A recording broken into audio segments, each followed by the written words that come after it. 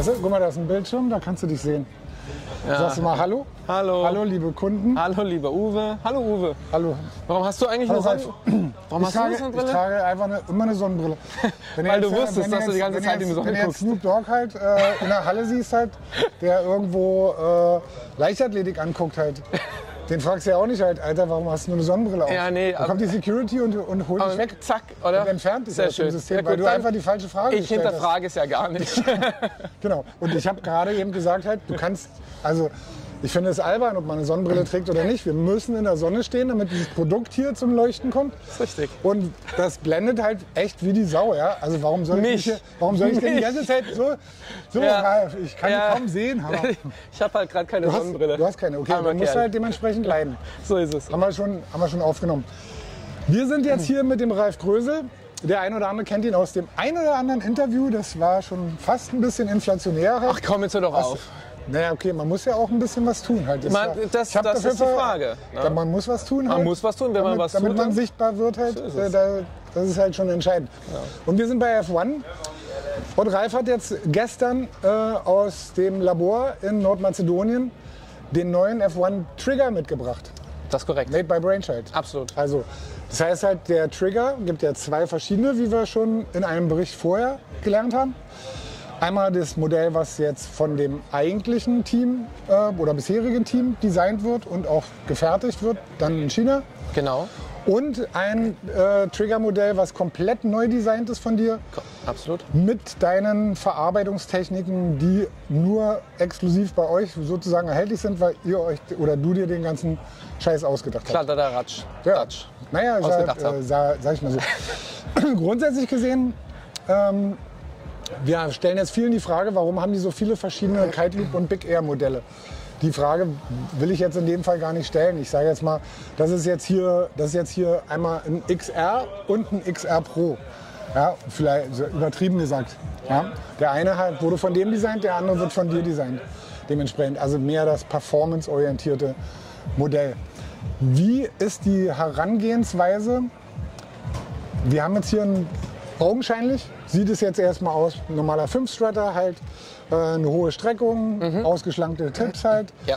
und so weiter und so fort. Also die Grundgeometrie Ja. ist sehr ähnlich halt natürlich auch einem Rebel oder Ja. anderen Modellen Ja. sozusagen, wo du, da setzt du an. Wo, Naja. wo, wo setzt du an halt, wenn, wenn es da, hier geht es ja darum, halt wirklich ein komplett neues Gerät zu schaffen. Also ich, ich, ich äh, setze letztendlich dort an, wo tatsächlich der Request der Pro-Riders ist. Also dieses Modell, wie du es auch gesagt hast, letztendlich, es gibt bei F1 unterschiedliche Triggers. Es gibt jetzt eben die Pro-Variante, wir können das ruhig so nennen am Ja, Ende des Tages, ja. weil warum nicht, ja. Egal. Und ähm, Pro bedeutet immer für mich, dass wirklich ein Produkt entsteht oder entstehen muss, was nachher tatsächlich so genauso in dieser Form bei Wettkämpfen eingesetzt werden kann. ja. Und ähm, es gibt bei F1 Neuerungen, was Teamfahrer anbelangt. Ähm, kann ich jetzt noch nicht sagen, Ja, kommt. Na, aber kommt. Ja. Und ähm, das wiederum ist letztendlich auch der Ausgangspunkt für dieses Modell, nämlich eine Kooperation Ja. mit einem bekannten professionellen Kiteboarder. Ähnlich der Kooperation bei Harlem mit, äh, Zwar mit genau so wie Okay. die Kooperation mit äh, Harlem und Aaron Hedlow und äh, mir, weil letztendlich dadurch halt es die Möglichkeit gibt, einmal wirklich zu verstehen, was braucht der Bereich Big Air Contest Rider. Also was sind die Parameter, die wirklich wichtig sind, um Ja. so einen Contest zu gewinnen. Ja. Und meine Aufgabe, weißt du, es ist ja immer quasi daraus ein kommerzielles Produkt zu, Ja. zu generieren. Ne? Ich habe noch nie einen Kite nur für einen Teamfahrer gemacht, Ja, sondern ja. ich habe immer versucht, so weit zu verstehen, was der Teamrider möchte, Ja. aber ohne dadurch quasi einen kommerziellen Aspekt zu verlieren. Ja. Und ich denke, das ist hier beim Trigger sehr gut gelungen. Du wirst es ja dann testen, kannst du dann wieder selber Ich für dich entscheiden. Also wir hatten schon gesprochen halt. Wir, ich denke, wir kriegen ihn auch, sobald der jetzt halt mal in einer adäquaten Menge verfügbar Verfügbar ist, ist, halt, werden, genau. genau, werden wir Ja. wahrscheinlich den auch zum Testen dementsprechend bekommen. Sind diese, sind diese einzelnen äh, Komponenten wie, ähm, wie das Tuch, die Struts, äh, Fronttube und so weiter und so fort, sind die, ähm, wie soll ich sagen, entscheiden die ähm, über dieses, über dieses Moment, dass er halt, da, dass er halt da, also einerseits durch die Leichtigkeit des Gewichtes, aber auch äh, die Gesamtperformance, dass, du- dass du ganz klar sagen kannst, okay, wenn ich das jetzt, wenn ich nur das eine einfüge, dann wird es schon mal so und so viel besser. Oder äh, muss ich das, muss ich in der Gänze dieses Gesamtkonzept verfolgen? Weil wir haben jetzt, also wir, wir haben jetzt schon zwei Modelle von zwei verschiedenen Firmen, muss man einfach sagen. Und konzeptionell, sagen wir mal so, wenn es jetzt anders gebrandet wäre, hätte es jetzt auch theoretisch ein Schirm von Harlem sein können. Ha klar, Harlem will was anderes. Genau, und das hat ist eine andere Idee. Das ist wahrscheinlich Und der Punkt, oder? Genau, und das ist letztendlich auch der Punkt. Also, ähm, um auf die erste Frage einzugehen.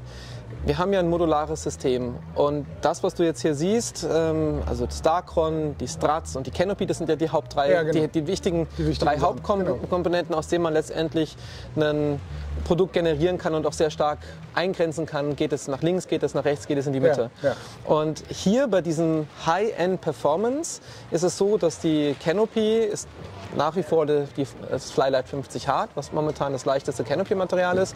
Es ist unser Darkron, das wir entwickelt haben. Und es ist auch ähm, das Strat-Material Ja. ähm, mit einem Mylar-Film, was wir auch für uns haben entwickeln lassen, Ja. für Brainchild entwickeln Ja. haben lassen.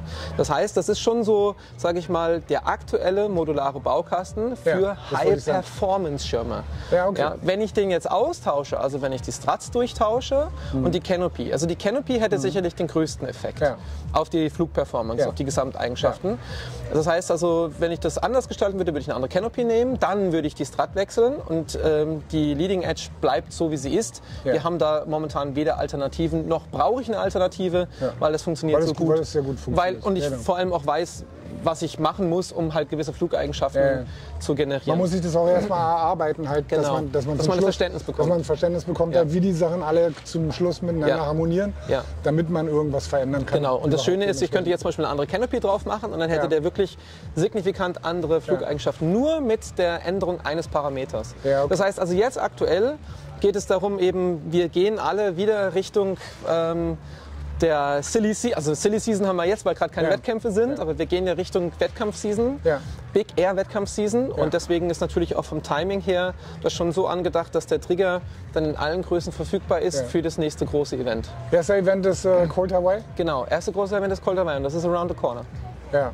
Also Das wird auf jeden Fall eine ganz spannende Geschichte, weil wir natürlich wahnsinnig viele Firmen haben, die jetzt ja, die da alle, richtig Gas also der, geben. der, der ja. Hype ist jetzt, der Hype wird jetzt zum Super-Hype Ja. und ähm, wir sind jetzt alle nur noch Formel 1. Ja. Übert, übert, ich übertreibe jetzt halt natürlich bewusst Ja. dementsprechend, weil wir ja teilweise wirklich überall drei, drei verschiedene Modelle mittlerweile haben von gleichen, gleichnamigen Produkten, die auch marketingmäßig genauso ähm, beworben werden dementsprechend. Darf ich da mal einhaken? Weil ich glaube, dass sich das relativ schnell ändern wird. Ja. Vermute, vermute ich auch. Ja, weil es letztendlich ist es ja so, wir setzen ja im Grunde genommen Standards mit dem, was wir machen. Also jeder Hersteller setzt für sich neue Standards. Ja. Die meisten Hersteller haben dieses Alula-Game mittlerweile sehr gut verstanden. Ja. Ja. ähm, wo man auch wirklich sagen muss, es ist auch sehr, sehr gut für den Markt, dass eben nicht nur eine Firma quasi dort oben mitspielt, sondern halt wir halt eine Mehrzahl an unterschiedlichen Firmen haben, die da in der Lage sind, ähm, kompetitiv unterwegs zu sein. Ich glaube aber, dass sich das Ganze schon auch wieder relativ stark bereinigt. Du weißt ja, dass eben unsere Brainchild-Produkte, ähm, dass das Ziel davon ist, das beste Preis-Leistungs-Verhältnis anzubieten. Ja. also das Produkt ist einfach ein Tausender günstiger als ein vergleichbares Alula-Produkt. Und Ja. deswegen bin ich davon Das überzeugt. ist auch das, der, genau, das ist halt eigentlich, man kann es gar nicht eigentlich oft genug erwähnen, weil letztendlich ist der Keypoint, weil du sprichst ja auch nie davon, dass du sagst, kommt zum Cold Hawaii, guckt euch den Trigger an mit dem neuen Fahrer halt und ihr werdet sehen halt, er wird halt äh, einen neuen Rekord brechen bei der Höhe. Weil das ist halt etwas, da gibt es so viele Faktoren, ob du die richtige Welle triffst halt, ob du die richtige Böe erwischt halt und so weiter und so fort. Wir reden da wirklich ja über sehr, sehr viel Wind halt, Ja. wo normalerweise alle anderen schön zu Hause bleiben und Kaffee trinken. So ist es, genau. Ja, also Einmal so ist es. Und, aber letztendlich geht es ja auch darum, man muss halt schauen, wenn man sich die Competition an. Oh, Nicht den Hund treten. Ja, da hat einer probiert, den Kite anzufassen halt. Und da liegt aber ein Wachhund. Halt. Das ist aber Der hat- sehr, sehr gut der, sehr der passt schon auf. schon irgendwie. Ja, schau mal, wenn du dir die Competitions momentan anschaust, dann sieht man einfach, dass wirklich jeder pusht. Ja, und dass halt dieses wirklich dieses Competition unter den Fahrern, unter den Herstellern voll in Brand ist. Und wenn du dich erinnerst an ein Interview, was ich vor zwei Jahren mit dir gemacht habe, Ja. wo ich genau gesagt habe, das braucht der Markt. Der Markt Ja. braucht diese Competition, ähm, weil es einfach dafür sorgt, dass tolle neue Produkte entstehen. bewegt sich halt, man merkt halt bei allen, dass es sich vorwärts bewegt halt. Und vorher war das auch von unserem Empfinden halt schon keine Liturgie, aber schon halt so, wo du sagst, naja, es stagniert so ein bisschen und äh, niemand hat so die richtige, sieht so die richtige Notwendigkeit, jetzt hier irgendwie was Bahnbrechendes dementsprechend zu verändern. Ja, weil- Insofern ist das halt, sage ich jetzt aus unserer Sicht halt, auf jeden Fall, wie es auch immer geartet ist oder wem es auch gefällt, auf jeden Fall schon mal eine sehr erfrischende Sache. Genau. Ja, also ich glaube, das- das kann man einfach festhalten. Ich glaube, für, für die Kite, für euch da draußen gibt es auf jeden Fall viel Neues, Spannendes zu entdecken.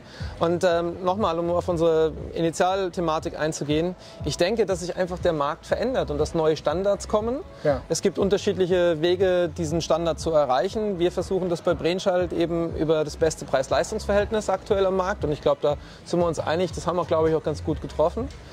Da würdest du mir sogar zustimmen, würde ich Würde sogar ich dir jetzt würde ich dir momentan in dem Fall Das auf jeden echt, Fall der kommt zustimmen. super schwer über die Lippen, aber ja.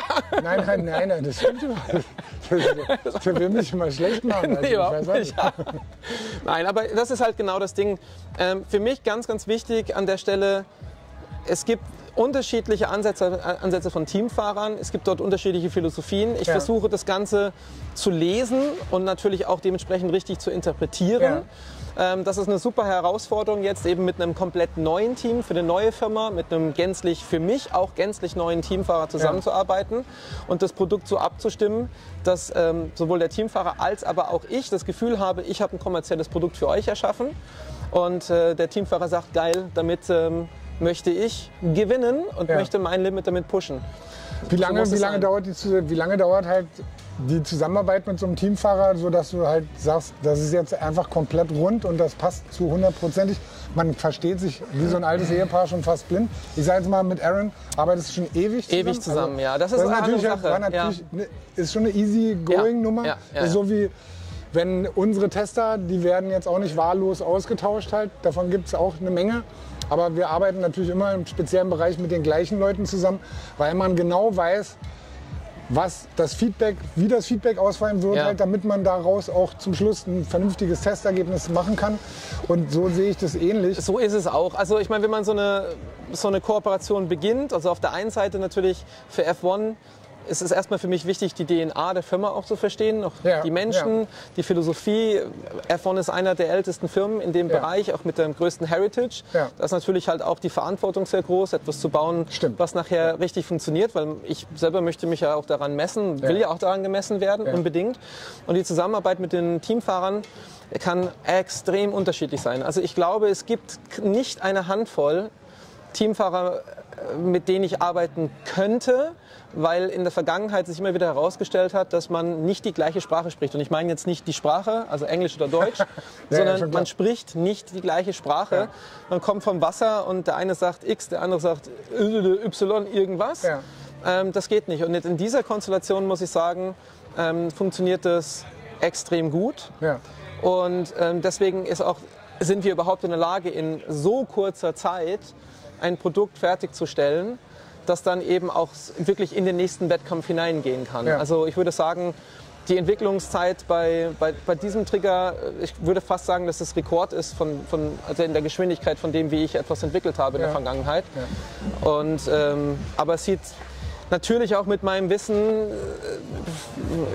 würde ich ja Irgendwann, selber... irgendwann, irgendwann weißt du schon, was du machst. Äh, ja, Sollte man, sollte man annehmen. sollte man annehmen. Sollte man annehmen. ist, aber es ist trotzdem eine Herausforderung, Ja. ne, muss ich auch sagen. Also, ähm, aber es ist eine tolle Challenge. Also ich, Ja. ich finde es mega, mega geil, dass ich da eben auch für mich noch mal ein bisschen auf mir selber beweisen kann, dass es eben machbar ist. Ja. Und ähm, ich glaube, es ist ein sehr schickes, sehr schönes, noch nicht ganz fertiges. Wir arbeiten ja noch dran, aber die Ja. Größen 6, 8, 10, 12, die wir jetzt da haben, die funktionieren tatsächlich so, wie ich es mir vorgestellt habe. Okay, cool.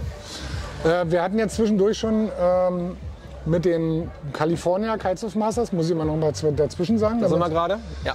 da sind wir gerade halt, äh, hatten wir schon Anfragen äh, bezüglich des Bandits. Mhm. Der ist ja auch fertig.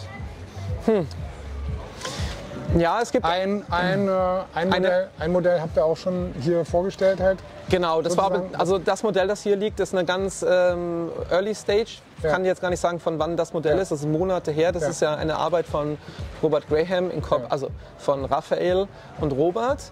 Ähm, da ist die Umsetzung, liegt also die, die Fertigung auf Brainchild-Seite. Bin ich aber nicht involviert, deswegen kann ich dir auch nicht ganz hundertprozentig Ah, okay. sagen, ob Alles es klar. fertig ist oder nicht. Also Okay. ich kann dir nur sagen, wir machen gerade Modelle mit dem finalen Printset. Ja. Ähm, und wie das aber dann von der Timeline her weitergeht, kann ich dir so aktuell Ist noch nicht, ist noch nicht so weit fertig. Okay, dann müsst, ihr, dann müsst ihr euch halt noch mal ein bisschen gedulden halt. Da wird es halt auch äh, sukzessive weitergehen dementsprechend. Und naja, ihr werdet es ja spätestens in sozialen Medien oder bei uns, vielleicht im Test oder wo auch immer, oder bei F1 auf der Seite sehen halt, wenn die Sachen halt gelauncht sind. Ich sage erstmal bis hierhin, erstmal vielen Dank. Und äh, wir gucken mal, ich gucke jetzt mal, was die anderen äh, so zu ihrem Programm noch zu sagen haben. Vielen Dank. Uwe, ich danke dir.